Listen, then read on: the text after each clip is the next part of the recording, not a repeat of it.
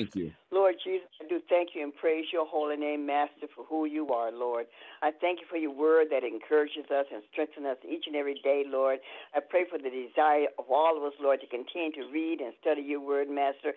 And as we are taught this night, oh God, let that word enter into our hearts, oh God, that we might not only hear it tonight, but we will walk with your word throughout our lives, Lord. I just thank you for everything that you've done for us, doing, and going to do. I just praise your holy name, Master, and I just love you and I thank you in Jesus' name. Amen. Amen. God is truly good, and I thank God that you are all here with me this evening. It's exciting to be with you guys, and I can't tell you enough um, how wonderful it is. And so, we're going to jump into this evening and I want you to stay with me. Uh, for those of you who are online, you're already seeing the, the title screen. But for those of you who are just on the phone only, I want you to write down Ephesians chapter 5, verse 16. Ephesians chapter 5, verse 16.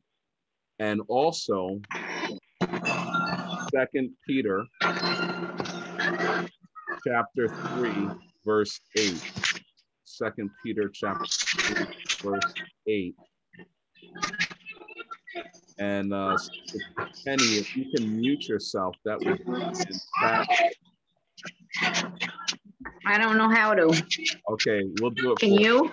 Yep, we'll do it for you. All right, we got you. Okay, love it. Love it when a plan comes together. Quote from the A Team for those of you who remember the TV sitcom.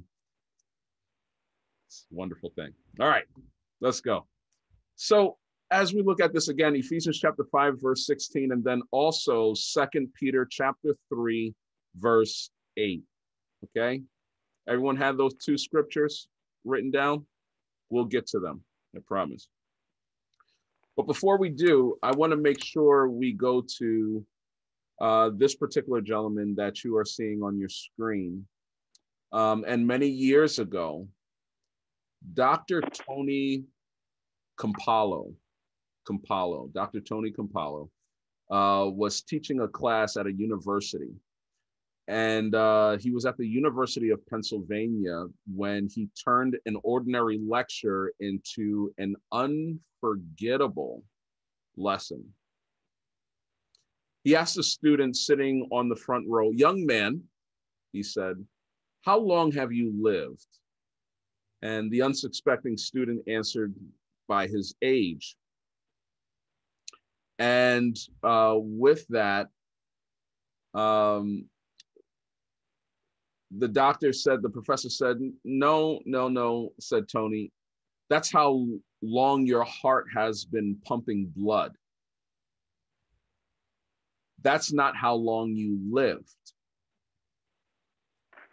That's when Tony Campolo told the class a story. he told them a story about one of the most memorable moments of his life was in 1944. His fourth grade class took a trip and uh, the top of the Empire State Building, uh, the tallest building in the world at that time. And when nine year old Tony got off the elevator and stepped out onto the observation deck overlooking New York City, time stood still for him. Okay. And with that being said, if I live a million years, said Tony Campolo, that moment will still be part of my consciousness because I was fully alive when I lived it. Okay. Tony turned back to the same student and said, Now let me ask you the question again. How long have you lived? When you say it that way, the student said, maybe an hour, maybe a minute, maybe two minutes. Very interesting. As I share with you that story, and it's two questions that we have there. And those two questions are How old are you? And then the second question is how long have you lived? See, it's easy calculating age. much more difficult quantifying life. Why? Because time is measured in minutes, but life is measured in moments. What do you think I mean by that? Time is measured in minutes, but life is measured in moments. What do you think I mean?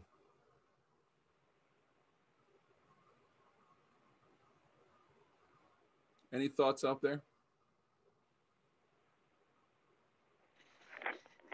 I have one. Go ahead. Uh, um, I don't know if this is too deep or not, but when somebody tells me that time is measured in minutes, I think of the design of time that God created to give us something to measure where He's taking us. And the moments are what we remember. Okay, I like where you're going. I like that. I like that. Erica puts in absolutely moments. Okay. Um, I see something else online. When you are truly present and living in purpose or feeling like purpose. Okay, I like it. Anyone else? Online, I see also my crazy self thinks that time we have, uh, but moments is what we capture. Ooh, very nice. Along the same lines. Very good. Very good. Anyone else? I like that. Okay. So what are those and if you're if you're taking notes and I hope I hope that you are what are those empire state building moments for you? What are those empire state building moments for you? When was the last time time stood still? And if you turn those moments into minutes, how long have you lived? Okay. How long have you lived? See, we're in a series uh, over the past number of weeks, Win the Day. We've talked about five habits. We talked about flip the script, kiss the wave, eat the frog, fly the kite. And last week we talked about cut the rope. And it's time to wind the clock. And that's what habit number six is. And if you have your Bibles, I want you to meet me with uh, meet me at Ephesians chapter five verse 16. Ephesians chapter 5, verse 16. Who has that for me? Ephesians chapter 5, verse 16. I, I have it. Go right ahead, Sister Ruth. Redeeming the time because the days are evil. That's right. Redeeming the times for the days are evil. King James Version. Uh, the uh, New Living Translation says, make the most of every opportunity in these evil days. Before we can talk about minutes and moments, there are three thoughts. The goal of this this evening or maybe even next week is at a right relationship with time. Lots of people live in the wrong time zone, stuck in the past, um, stuck in the past tense of guilt, paralyzed by the future, um, future tense of fear, right, of what's coming. Either way, they're half present, half the time, which means they're half alive. My goal is to close the gap between those questions how old are you and how long have you lived? I want to help you uh, to make the most of the minutes and moments. But time management is not just practical, it's theological. So, three thoughts before we wind the clock. And let's go into them. The first one I want to talk to you about, if you're taking notes, time is a human construct. All right. Sister Erica was just talking about this uh, in the Facebook chat, right? Talk. We talked about time versus eternity. Time is a human construct. With the Lord, a day is like a thousand years. I want someone to find for me Second Peter chapter 3, verse 8. Second Peter chapter 3, verse 8. Second Peter chapter 3, verse 8. Who has that for me?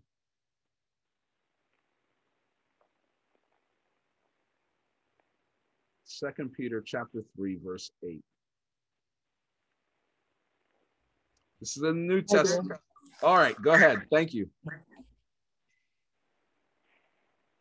But you must not forget, dear friends, the day is like a thousand years to the Lord, and a thousand years is like a day. Ooh. So with the Lord, a day is like a thousand years, a thousand years like a day. That makes no sense in the four dimensions of space time. If you don't know what that is, I'm going to tell you to Google it on your phone. We don't have time for that right now. Four dimensions of space time.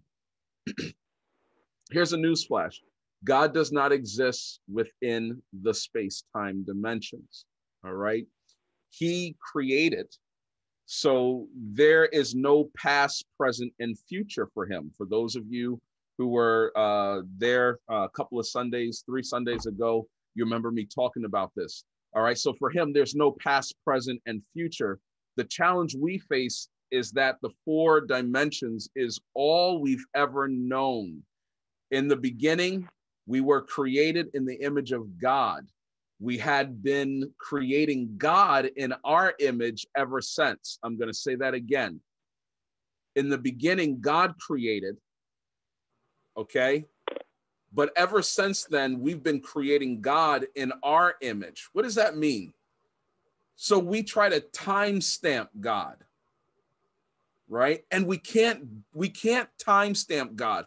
We can't put him in a frame. We can't say I met the Lord, you know, when you became a Christian. God will say, "No, just like Jeremiah, I knew you. I was in relationship with you before you were in your mother's womb." Matter of fact, I know whether I, I'm already with you in the future. I'm already with you on whether you are in um, whether you die or whether the trump sounds and you're caught up to meet me in the air. I'm with you now, then in the future, as well as being with you now in the present just like I was with you in the past. All right. I'm not going to go into that. You want to look at that, go to the YouTube page. Three Sundays ago, it'll make more sense. So we can't timestamp God. God is the same yesterday, today, and forever. So he is Alpha and Omega, the beginning and the end. He is the Ancient of Days. In the words of the, the- theologian Paul, uh, Tillich. God is the eternal now. So when you're looking at yourself today, God is saying, no, no, no, no, no. I've or I'm looking at you as I see you in your end. So you are already what I've called you to be, whether you see it or not. Time will get you there Time will get you through your process to be who I called you to be in your own mind. But I already see you, know you as you, as I created and designed you to be, which would be your future. Everyone with me? Please say yes or no. Arnold, slow down. Pastor, you're crazy. Take your pill. What? How, you guys are good with me? Yeah. Good. Okay. All right. So with that understanding, all of that to say this creation was God's way of starting the clock. It was way it was a way for scientists to have understanding. Okay? And so as we look at this, we have been on the clock since God said, "Let there be light." That said, the day is coming when we will cross the pace the space time continuum and enter into a dimension the bible calls heaven we think of heaven as a future destination. And it is. But heaven is in, invading the earth. Time, right here, right now. And we're going to talk about it. So, the second thing, we've got to live forward. We live forward, but God is working backwards. You and I, we're living forward. We're planning for the future. We're going towards the future. We're talking about tomorrow. We're talking about three months from now. We're talking about what does five years look from now. But God is working backwards. Okay? God is working backwards. It's almost like a movie. Most movies are designed with the end in the beginning. They talk about the end of the movie and they work their way backwards on how they're going to get there. Okay. Same thing for God. He's working backwards. Okay. Because he already knows the end now. He already knew the end before you were birthed. And I see uh, Erica online. Uh, one of her friends is a Scientologist and that's good. All right. Believes in the Big Bang Theory. All right. So the Big Bang Theory just simply means is that uh, once there was a one solid and you know in the galaxies and ex- the explosion happened and it created the different planets created the earth in its perfect axis in its perfect spin in its perfect distance from the sun how is that even possible? Right. And yeah, you're 100% right where there is Scientologists out there. But to be that perfect, to be that precise, where if we were Mars or if we were uh, Mercury, that we would be dead, we would not exist, right? Those kinds of things where it's it's it's just we came from you know the amoeba right? From out of the water or we came from apes. If that was the case why are we still not why are humans still not transitioning from apes today?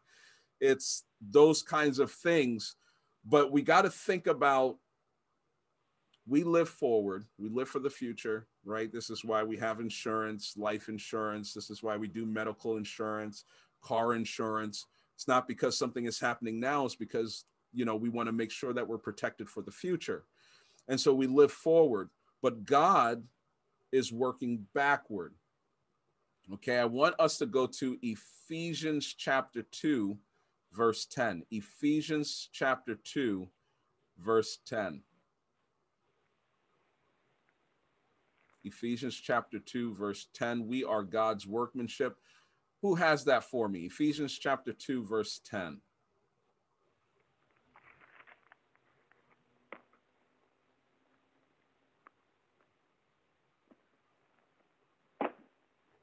Anyone have that? Okay, I'm back. All right, back. For we are his workmanship, created in Christ Jesus unto good works, which God has before ordained that we should walk in them. Ooh. Okay. I like that. Do I have Sister Stacy out there? Sister Stacy, can you read the New Living Translation for me if you have it? Sure. Wow, it's Ephesians 2:10, correct? Yes. Uh, for we are God's masterpiece. He has created us anew in Christ Jesus so that we can do good things that he planned for us long ago. Wait, what? We are God's workmanship, created in Christ Jesus to do good works prepared for us in advance. Okay. I know I'm taking you guys to a different place. Welcome to Bible 201. Okay. I will be your professor for the evening. And he prepared works for us in advance, as it says, long ago. I'm telling you that your script of your life is already written. It's already written. If you can imagine you picking up a book and God is the author of that book, and in that book, there's your name, there's your character. On page 127, if you turn with me to the page 127, is actually chapter five in the world book. Your name is there and your life has already been placed there. And I'm telling you, this tells me that he had planned for you and works for you in advance. We for we are God's masterpiece. Masterpiece. Wait a second. When I think of a masterpiece, I think of a painting that's already drawn. How about you? Yeah. We're God's masterpiece. We're already drawn the details, everything. He has created us anew in Christ Jesus. Okay, so that means when we accepted Jesus Christ in our mind as his personal savior, as our personal savior, right? He has created us anew in Christ Jesus so we can do the good things he's planned for us long ago. I'm here to tell you that God had a plan for you I'm here to tell you that there was a plan from the beginning. I go back to Jeremiah. I knew you before you were in your mother's womb. I had a plan. There is a plan. And that is something that you have to be able to trust in God, knowing that He will get you there. I know that's hard to believe, because we can only deal with our present circumstance and our past experiences. And you might be saying to yourself, Pastor, everything about my past experiences and my now tells me that I won't make it to what I heard or I think God has promised for me or what I see in the Bible. So, with that being said, do you trust your experiences more than you trust God?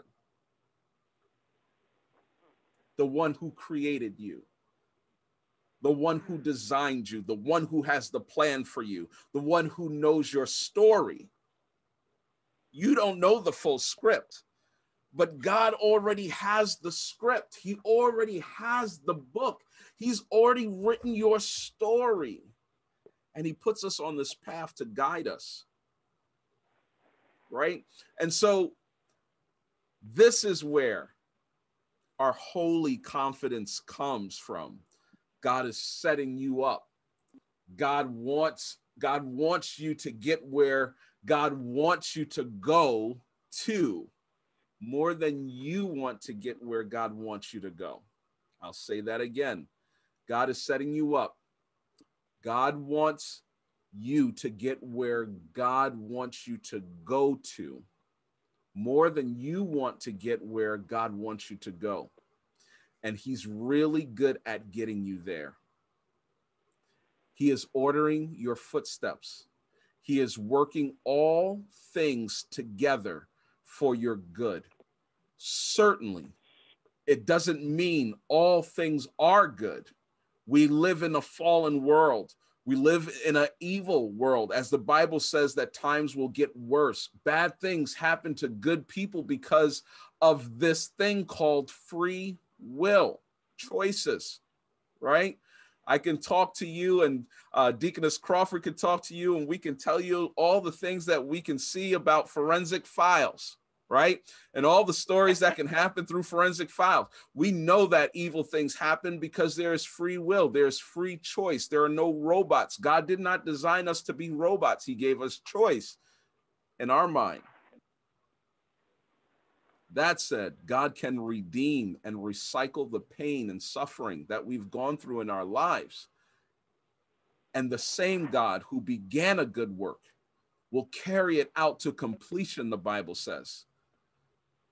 There's a fancy word in philosophy called teleology, T E L E O L G Y. Teleology. It's beginning with the end in mind. And that's what God is. That's what God does. For us, the arrow of time moves in one direction past, present, future. Okay. Then Jesus shows up and says, Before Abraham was, I am. Wait, what does that even mean? Joshua chapter 6, verse 2 gives us a great example. I want someone to find that for me.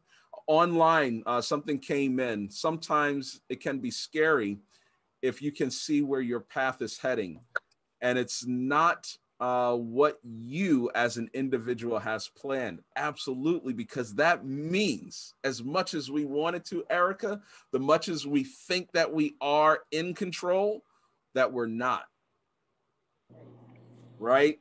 How crazy is that to think that everything that we've put in place, our planners, our our our our diff, our schedules, um, our the different our goals that we have in life and all those different things that we have designed for us to be in control how crazy is it to know that we are not in control how crazy is it to know that the experiences in our life that we've have experienced already that we would consider our past god knew that we would experience God knew that we would be the people that we are right now, today, because of our experiences.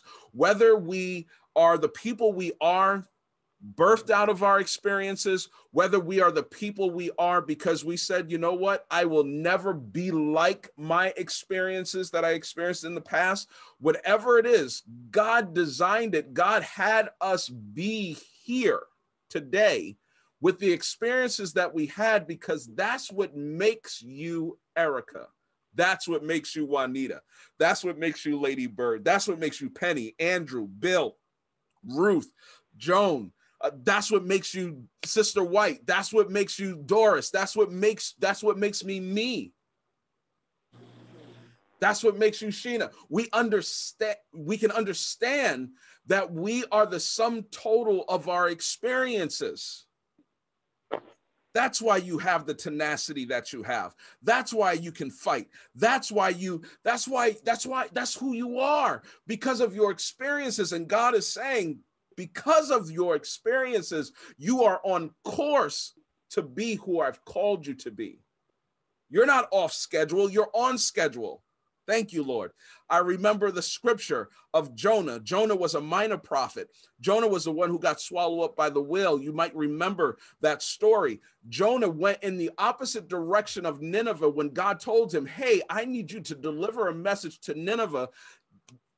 Jonah got on a boat going in the opposite direction. He got on the cruise line and said, I want a ticket and he went in the opposite direction, being disobedient to God. He thought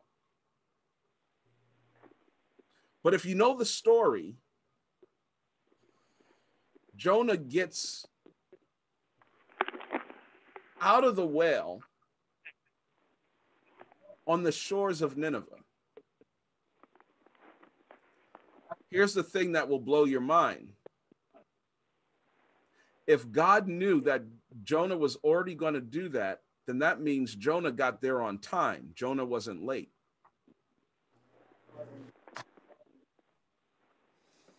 I know y'all not going to talk to me, but that's all right. Jonah got there on time because God already knew that he was already going to go in the opposite direction.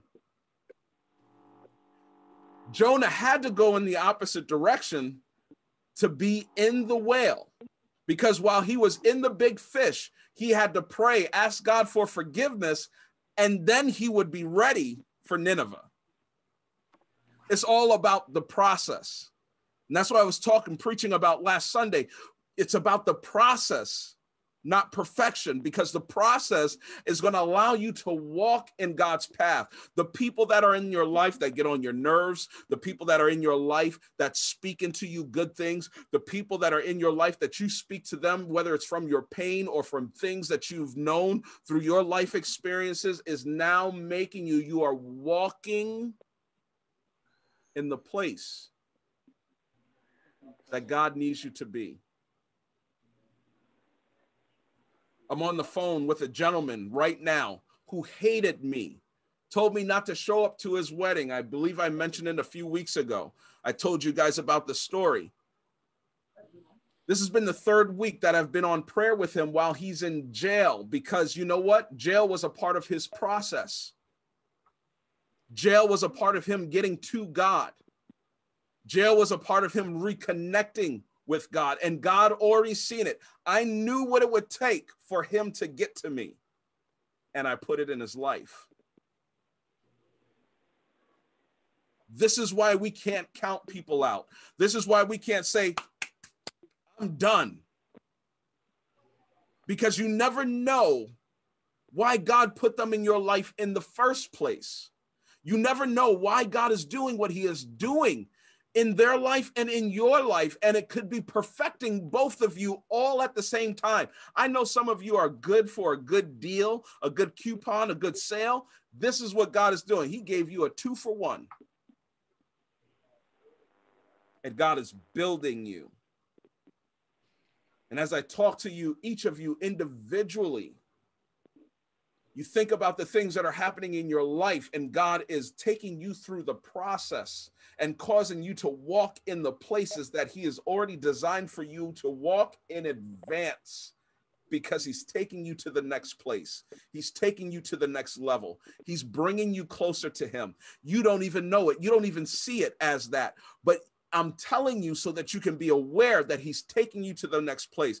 I've been praying, oh, uh, uh, Pastor, I've been praying, you know, that I would have a more forgiving heart. Oh, do you know what that means? That means that you're going to go through some fallen places, some broken places. People are going to have to break your heart so that you can be ready to forgive them. He's got to put you in situations for you to be able to have that understanding. What are you praying for?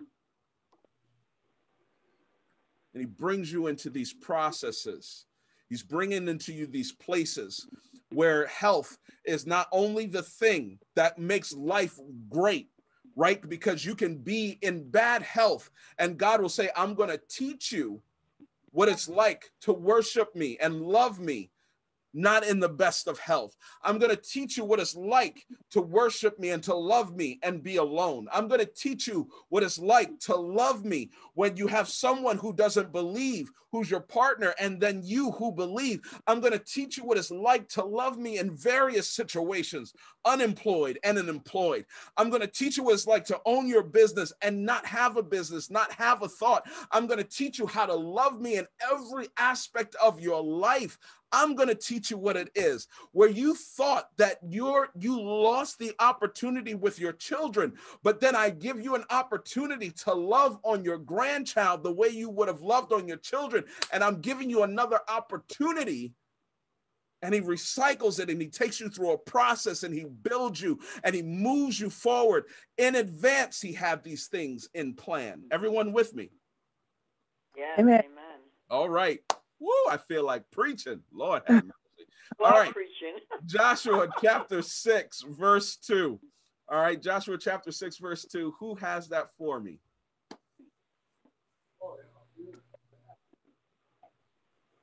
Joshua chapter 6, verse 2.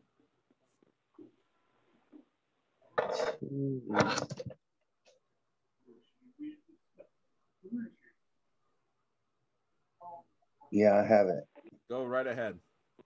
But the Lord said to Joshua, I have given you Jericho. It's um its king and all its strong warriors. Woo! Okay. So God says, I delivered Jericho into your hands. No, that's not what he says. It says, I have delivered Past yeah. tense. Past tense. Jericho into your hands. But that's the wrong verb tense, isn't it? Because he didn't take Jericho yet. Hmm. It should be future tense. It, it, it, it hasn't happened yet. So why is it past tense? That brings us to the third thought. The third thought is everything is created twice. Everything is created twice. Everything was once a thought. There is an internal or mental or spiritual creation first. Then and only then is there a physical manifestation. That's what imagining unborn tomorrows is all about. So he says, let me go back to that scripture because that was that scripture was good. I'm going to reverse that. But he said to Joshua, I have given you Jericho, its king, and all of its strong warriors. He had not set foot in Jericho yet. They haven't walked around Jericho yet seven times for seven days. They haven't done that yet. And he already said, I have already given them to you, the king and its mighty warriors. It's already done because God is seeing things in eternity. It's already done. It is not in question. So when God begins to speak to you and he begins to speak to you through other people and he begins to speak to you maybe through me or another spiritual leader or or or through you alone, when God begins to speak to you, these are not things that might happen, may happen. Oh, maybe it's possible if the crescent moon comes out tonight. No, when God declares a thing, it's already done. Mm-hmm. Yes. Amen. Right? That's right, Deaconess Greco. So when we understand that, when we understand that when God speaks, he doesn't speak in hypotheticals. He doesn't speak with contingencies. I do this only if you do this. He's saying if he declares something to you or through someone else concerning you, it is done. Like the Bible says, it's like the rain coming out of the sky to feed the ground as the as the as the dew comes out of the sky as the rain comes out of the sky to feed the ground so does my word come out of my mouth and it will do what i said it would do what i set it forth to do. There's no questions. It's not might maybe. I don't care if you roll your eyes shrug your shoulders. Hmm, i don't know. I don't think so. It's because god doesn't speak based on your experiences. You do. We do God speaks on the definites. God speaks as the author who already wrote your story. It's hard to fathom that he wrote my story already. And I'm just catching up to where I am now. I can't even fathom what tomorrow brings. He says, Peter, now that you have done what I asked you to do, let's go out into the deep. Let's go out a little bit further in the water because there's something I need to show you there and we god takes us through a process. He takes us through a places. He takes us through experiences and we learn from them. We grow from them. And here you thought you were doing it all by yourself. No god was like i already wrote this down baby. This is, has nothing to do with you. I've already written this out. But you're having these aha moments because you're catching up. When god says his thoughts are far off from ours where he's brighter than us we're on the we're on the short bus licking the windows. Do you understand what i'm saying to you? We're in that place where we can't comprehend him. Okay? We don't understand everything that he understands. He's talking about jericho in a past tense. He's telling joshua i've already given you the city. I've given you the king. I've given you the mighty warriors. All you got to do is follow my instruction and it's done so, I didn't even plan all of this kind of talk with you guys. When God leads you to a Jericho, when God leads you to a place that is a mighty fortress, that's impenetrable, that's impossible, when God leads you to a place where you don't think you're going to be able to make it, you don't think you're going to be able to get through it, you don't see the other side of it, when God brings you to a Jericho and he tells you that he's already given it to you, when God puts something in front of you, whether good or bad, you've got to know you're going to get through it because God is not causing you to stop here. This is not a permanent place. He called us sojourners, meaning that we're moving through this world, we're moving through this earth, we're moving through this time, we're moving through these experiences, we're moving through the pain, we're moving through the blessed times, we're moving through the bad times, we're moving through the crazy times, we're moving through the things that make sense and the things that don't make sense. We're moving through them. So if you get to a circumstance and a situation that seems crazy, seems impossible, seems like there's no way out, you've got to know that you know that you know that your trust is in God to get you through it. Because if He brought you to it, He can bring you through it. Shadrach, Meshach, and Abednego can tell you their story. Daniel in the lion's den can tell you his story. Paul and Silas in the jail cell can tell you his story. Joseph can tell you his story. All these different ones can tell you their story, it wasn't peaches and cream. It wasn't just flowing with milk and honey. There were giants in the land. There was lions. There were fiery furnace. There was jail, prison time. There was all kinds of stuff. There was a, my wife, and I'm calling her my sister. I'm lying on who I am and who she is. I'm doing all kinds of crazy things. I'm stealing my brother's birthright for some food. I'm doing all kinds of crazy things, and yet they still find God and walk in his plan. I have given you Jericho as king and all of his strong warriors. The third thought is this. As I said, everything created twice. Everything was once a thought, internal or mental, as I said earlier. It's in the mind, it's in the spirit. Thy kingdom come, thy will be done on earth as it is in heaven. It's already happening in heaven. It just needs to be manifested in time. It's already happened in eternity. It just needs to be manifested at its right time on the earth. It happened twice. It was created twice. That's why, again, when we look at this, I tell you this story. For those of you online, you're looking at a map. You're looking at a map of the city of Washington, D.C. It first existed in the imagination of Pierre Charles L'Enfant.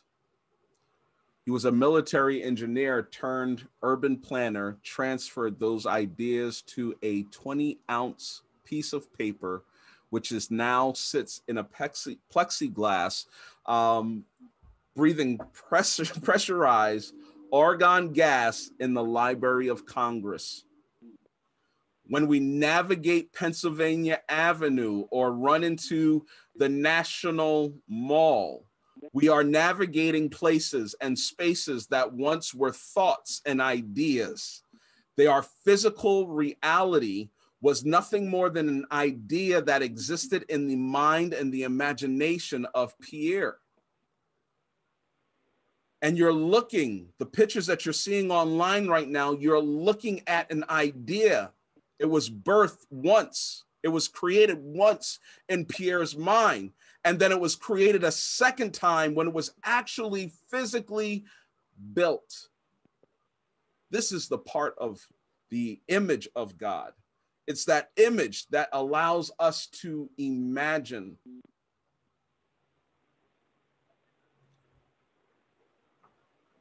The Talmud.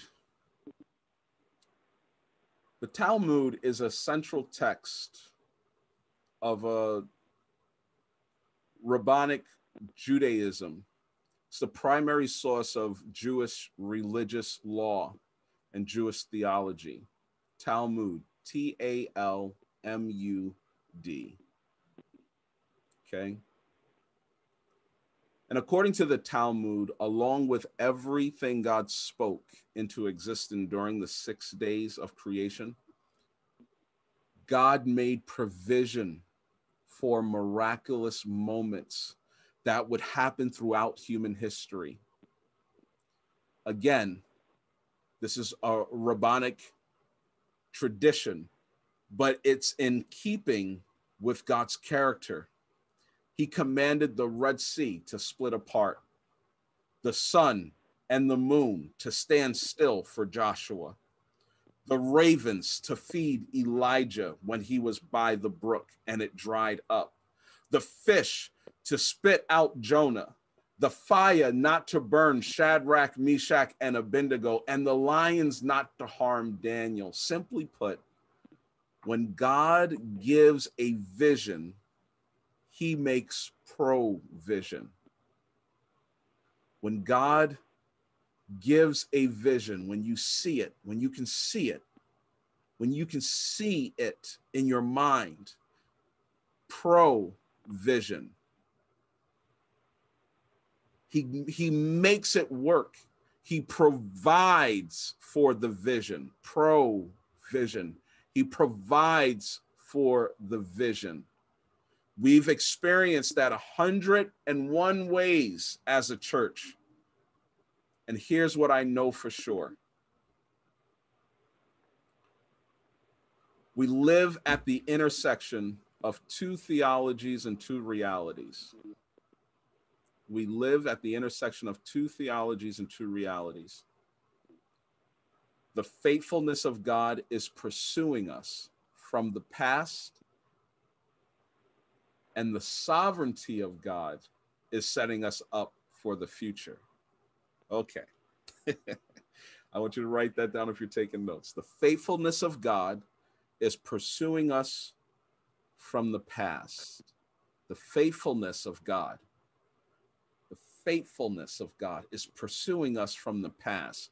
What does that mean to you? What do you think that means? The faithfulness of God is pursuing us from the past. Any thoughts on that?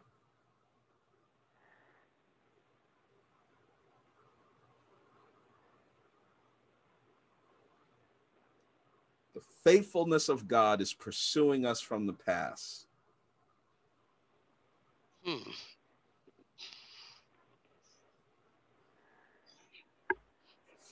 I don't know where you're going with that one. That's all right. That's all right. That's why we're that's why we're here, right? exactly. Spit it out. And, and, it, and, it's quiet. So if everyone is quiet, I want you to write this down. All right. We we're, we're taking this in pieces. The faithfulness of God is pursuing us from the past.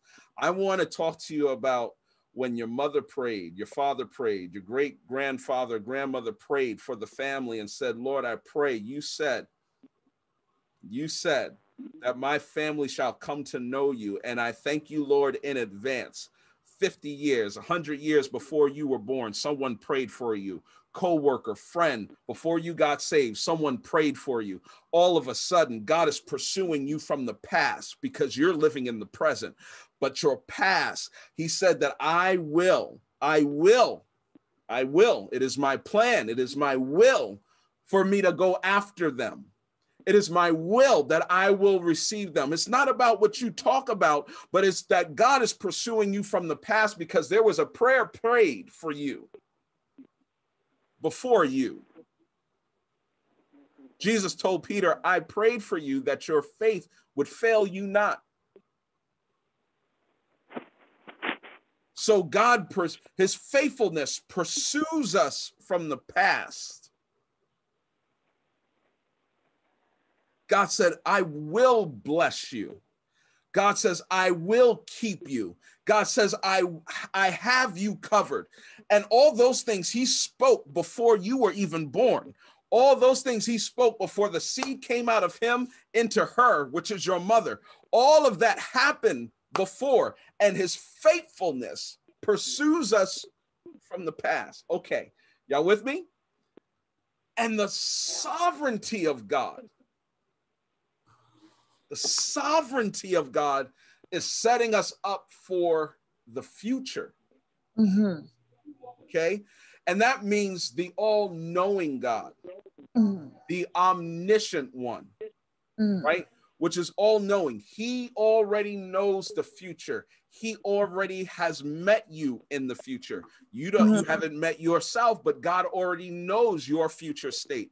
God already knows you as who you will be now.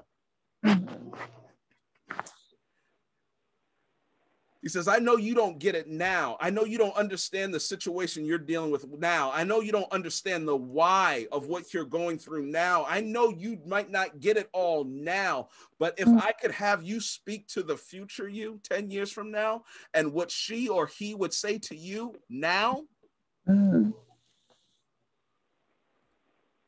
all they would say to you is this follow God because it's all a part of your process to get you where you need to go. Everyone in your life is prepping you. Mhm. Everyone, every situation, every experience, he's prepping you. He's taking you to your future. And God being sovereign, all knowing, all powerful, all present. He's sovereign. And God is the sovereignty of God is setting us up for the future. This is why Satan had to go in front of God. God said to him, Lucifer, where are you coming from? He says to and fro throughout the earth. You can find that story in Job. And he says, Have you considered my servant Job?